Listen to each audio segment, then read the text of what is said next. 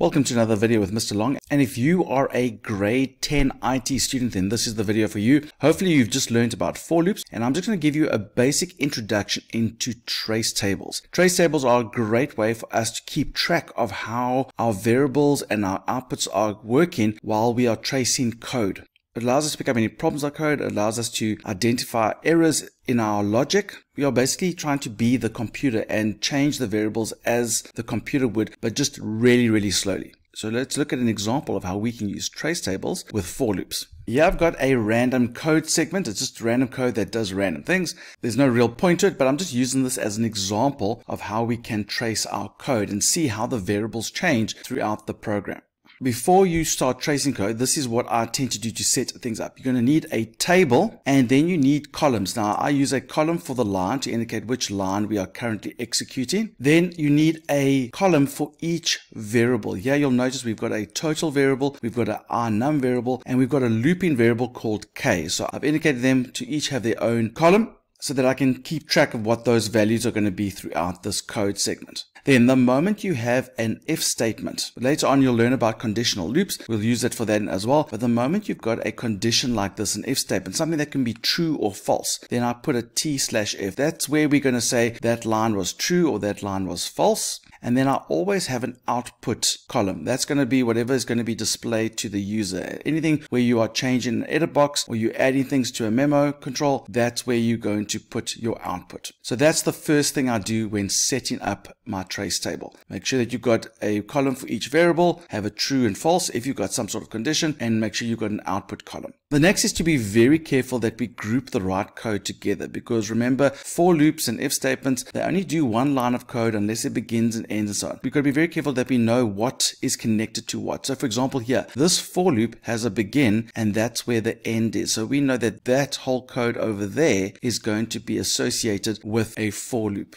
So I'm going to put that line over there just so that I can remind myself that this is all connected together. And there we've got an if statement. Now there's no begin and end for that if statement, but that if statement only has one line of code associated with it. So therefore that if statement only does that. But just so that I know that these lines aren't connected to the if statement, I'm actually going to mark that off as well. So there we go. You can see that I've marked that off. So only that line is associated with if statement. All of these lines are associated with the for loop. So now that we've done that, it should make our life a lot easier when doing the trace table. So let's go.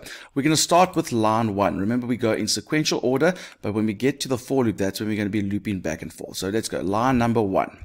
That simply says set our total to a zero. So we're going to give that a zero value. Then we're going to move on to line two. I try to make sure that I do each line on a brand new line in my table. I know it's nice to maybe put them next to each other. If you don't want to do that, just do it one line at a time. So in this line, line two, num is equal to a zero. So under the num column, we're going to put a zero. And then we jump to line three. Now this is a for loop. It starts at a particular value and goes until another value. What I'm going to do is I'm going to set the k value. It starts off being a 3. So I put a 3 over there. But we need to remember that when we get to a 5, that's when this whole thing stops. So let's go inside the for loop. We now jump to line 4. So line 4 is a question. It's a true or false. Is k mod 2 equal to 1? In other words, is k divided by 2 going to have a remainder of 1? Or is k odd basically is what we're asking. If I divide 2 into 3, you, remember you always use the latest value of the variable. So if I put 2 into 3, there's going to be one remainder. If I divide 2 into 3, there will be one remainder. So that statement is true. So I'm going to put a T there. And because that line is true, I must do line 5. So we're definitely going to do line 5, which says Take the total value, which is 0. Take the k value, which is 0. Take the rnum value, which is 3. So 0, 0, and 3. Add them together. So that's going to equal to 3. And we put that value into total. So total is now going to change to a 3. So now we must just remember, whenever we use r total again, we must use the latest value of r total. Then we're going to move to line 6 because we are still in the for loop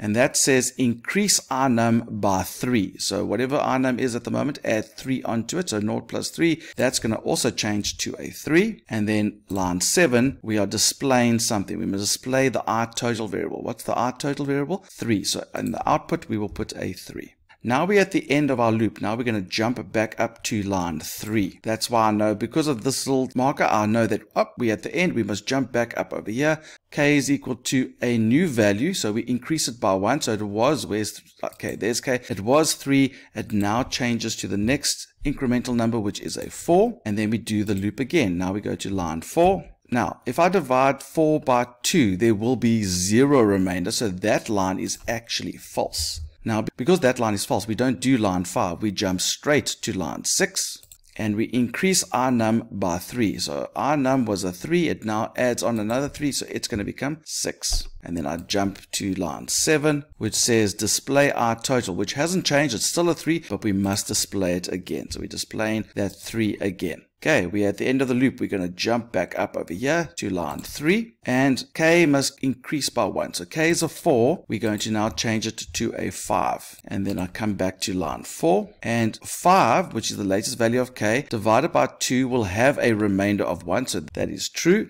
So therefore we must do line 5. So we're going to do line 5. And line 5 says take the total value, which is the latest total, which is a 3. Take the latest k value, is a 5. Take the latest r num value, which is a 6, and add them together. So 5 plus 6 plus 3, that's going to be 14. So what do we do with that 14? We put it into our total. So our total is going to change to a 14. Then we do line 6, which means increase r num by 3. So r num was a 6, it now becomes a 9 and then we do line 7 and line 7 says display our total display our total our total is a 14 so our output must be a 14 now we're at the end of our loop. Now we jump back up here. Now in most trace tables, you will go, okay, we are at the end of the loop. It's a five. We can stop. We can go out of that loop. But technically, you don't have to actually do this line, but I'm going to do it just for interest sake. This line actually does increase K to a six it increases it to 1 and goes, hey, we are now out of range of our for loop, so therefore this loop will not do this and it will jump to line 8. So even though it goes to 5, it actually does increase one more time. If I have to display k over here somewhere, you'll notice that it'll because it's 1 over the last value of the for loop variable. But you don't actually have to do this line. So if you don't do that line, you, I don't think you'll be losing marks if you ever do that in a test, but just so that you are aware that it actually does increase k to a 6 because, hey, we're not in this range of 3 to 5, so we will stop the loop. So if you ever use k over here and you haven't changed it, it's actually going to refer to a 6, not a 5. But anyway, so we are at the end of our loop. Our loop is completed, so we can't do this again. So once the loop is completed, we jump down to line 8. And line 8 simply says display our num. So what is the last value of our num, which is a 9. So we're going to come here and put a 9 and that is the end of our code segment. So if we look here, if we had a memo control, it would display a 3, a 3, a 14, and a 9.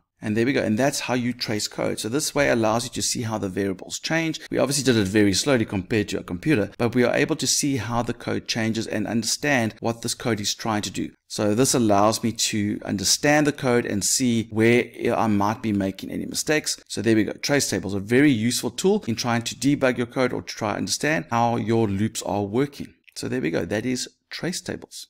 For more IT related content like for loops, you make sure that you subscribe to our YouTube channel at Mr. Long IT and CAT. We also do videos on HTML, Access, Excel, and Word.